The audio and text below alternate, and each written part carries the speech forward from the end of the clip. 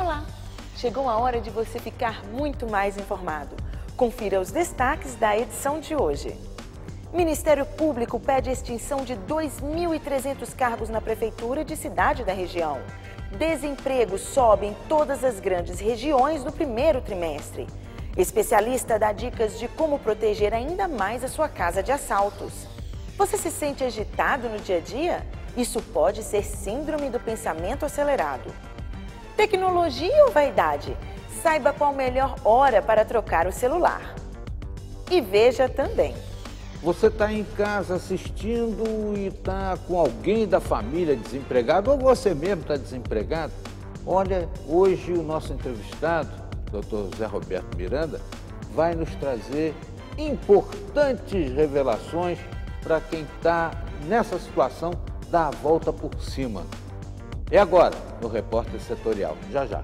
Você confere essas e outras informações agora.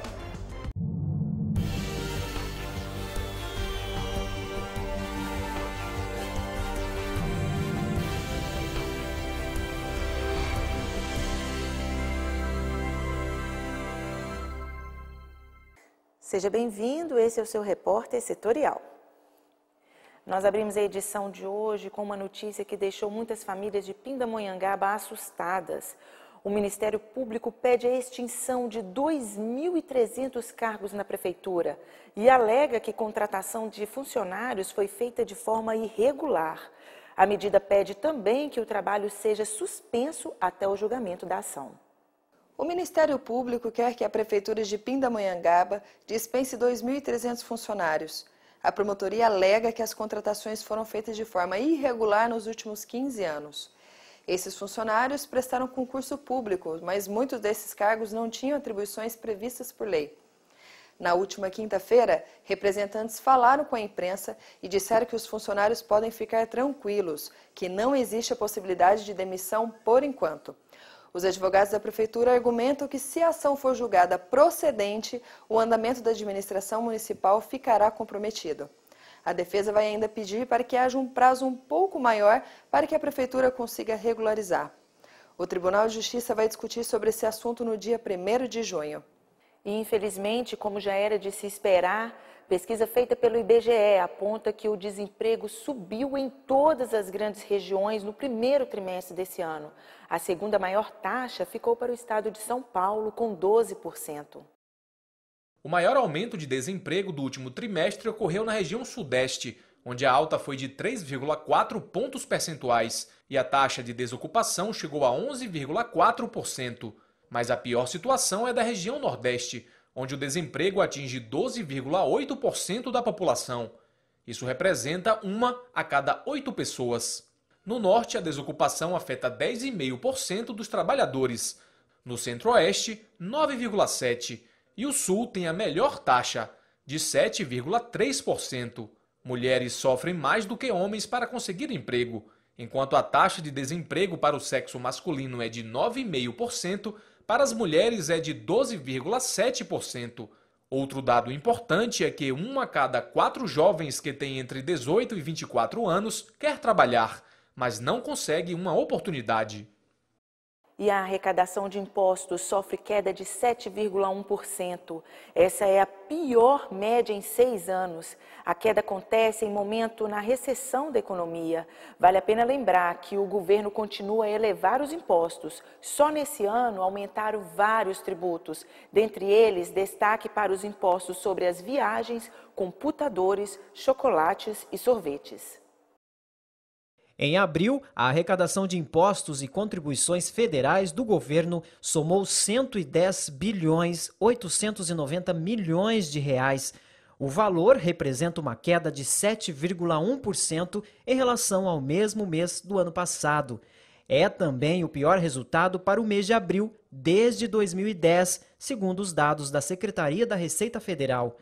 No acumulado dos quatro primeiros meses do ano, a arrecadação é de 423 bilhões e 900 milhões de reais. Registra uma queda real de 7,9% na comparação com o mesmo período do ano passado. Também é o pior índice desde 2010. Esse resultado ruim para o governo acontece mesmo com a alta de impostos. No ano passado, o governo aumentou tributos sobre carros, gasolina, diversas bebidas alcoólicas, cosméticos e refrigerantes. Também elevou impostos de empréstimos, operações bancárias, importações, exportações, receitas de empresas e ainda taxas de serviços públicos. Neste ano, já elevou impostos sobre viagens, eletrônicos, chocolates, sorvetes e cigarros. Também subiu o IOF para a compra de moedas estrangeiras. Mesmo com tantos aumentos de fontes de arrecadação, o resultado é o pior por causa do tão falado fraco desempenho da economia brasileira é que, com o aumento dos preços, dos juros, da inadimplência e do desemprego, a tendência é de baixa nas vendas de produtos e serviços. Quando reduz o movimento da economia, menos impostos são pagos ao governo. E é claro que o aumento de impostos também contribui para isso, porque aumenta preços e desestimula o consumo.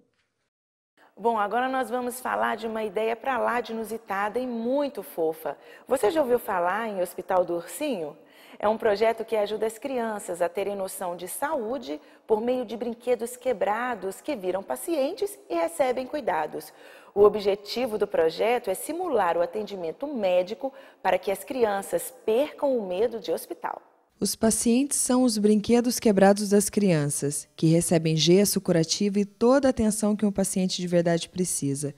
O objetivo do projeto é simular o atendimento médico para que as crianças percam o medo do jaleco branco.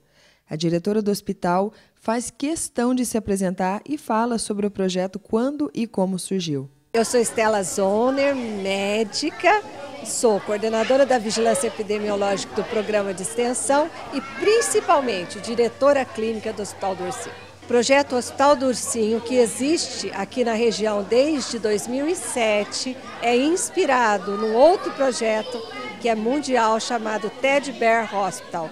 Surgiu na, na Europa uma iniciativa de estudantes de medicina. O nosso hospital não tem só medicina, tem todas as profissões de saúde. E nós trabalhamos com a ansiedade que a criança às vezes tem da consulta médica, do contato com a vacinação, através do lúdico, através da brincadeira. Então é o brinquedo que fica doente e a mãe ou o pai da criança, do brinquedo é a criança. Estiveram presentes os estudantes de medicina, enfermagem, fisioterapia e nutrição da Unital. Estela conta que às vezes tem o curso de psicologia e odonto. O estudante do primeiro ano de medicina, Matheus, acredita que este contato é muito importante desde já. Eu acho que é uma atividade muito importante, que é bom para um contato entre o aluno de medicina e com as crianças, né? E também para a criança aprender e ver que o contato com o médico não é tão assustador. Ah, vou, é, vou receber uma vacina, ah, não dói nada, para ela perder o medo, para ir tranquilo ao, ao médico, para perder, o, pra, é, principalmente perder o medo de ir ao médico e tomar vacina, tomar remédio. Isso é o principal. Encontramos a Clara, de 5 anos. Ela foi levar o seu filho, que estava com diarreia. E ela nos conta o que o médico disse ao examiná-lo. Que ele tem que tomar remédio. A diretora do Hospital do Ursinho conta que os futuros doutores estavam ansiosos com o projeto e ela os orientou da seguinte forma: Eu acho que o Hospital do Ursinho, os alunos me perguntavam antes de começar como nós vamos trabalhar e eu respondia: através do amor. Deixe Deus se manifestar em você para trabalhar com essas crianças. Em época de férias e feriados prolongados, muitas casas ficam vazias e podem ser alvos de assaltantes. Saiba agora quais são os cuidados necessários para não ter surpresas desagradáveis quando voltar de viagem. Cenas como essa se tornam mais comuns com a chegada das férias e viagens longas das famílias. Para evitar surpresas desagradáveis no retorno, vale de tudo para enganar os bandidos. Deixar a luz acesa, uma música ligada mas cuidado para o tiro não sair pela culatra. É importante a pessoa colocar é, uma célula é, fotossensível que apague essa lâmpada no período diurno, já que ela poderá indicar o contrário, que não tem ninguém na casa. O vendedor de sistemas de segurança, Kesley do Nascimento, conta que frequentemente recebe clientes que foram vítimas de assaltos e que quando chega o fim do ano, a procura na sua loja aumenta. A partir de novembro eles começam a estar tá procurando, fazer orçamento.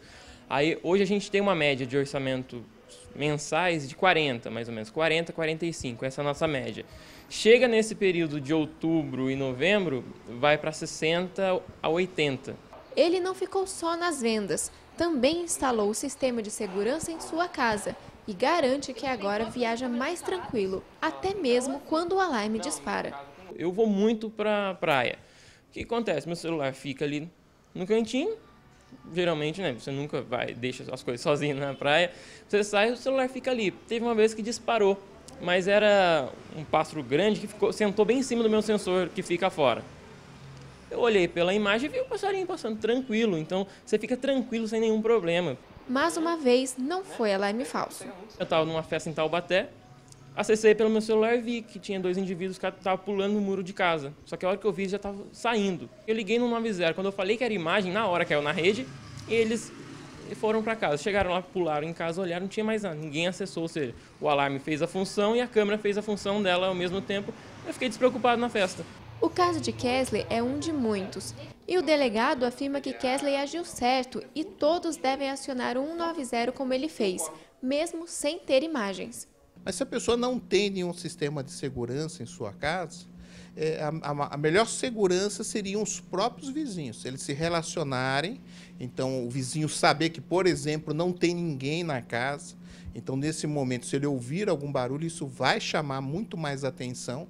É, se o vizinho ouve que na casa, a casa ao lado é, está havendo ruído, ele sabe que o vizinho viajou, que não está lá, é o momento propício para acionar a polícia.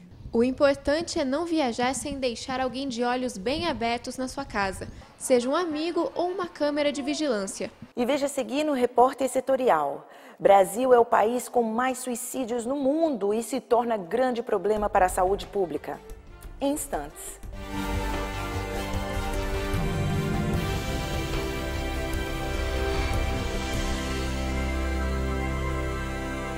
Setorial.com é o seu novo acesso.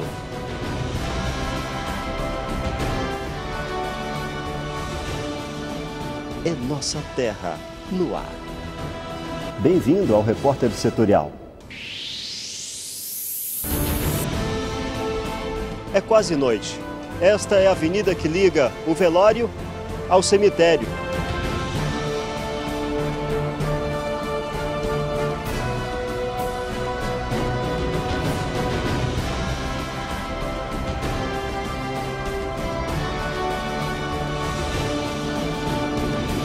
Hoje, na TV e na internet.